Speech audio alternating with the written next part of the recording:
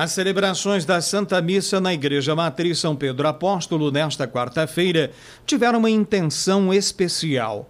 Os 30 dias de morte de Frei Policarpo. Flores, orações e homenagens marcaram a data. Frei Alex celebrou a Santa Missa das 19h30, lembrando a memória de Frei Policarpo.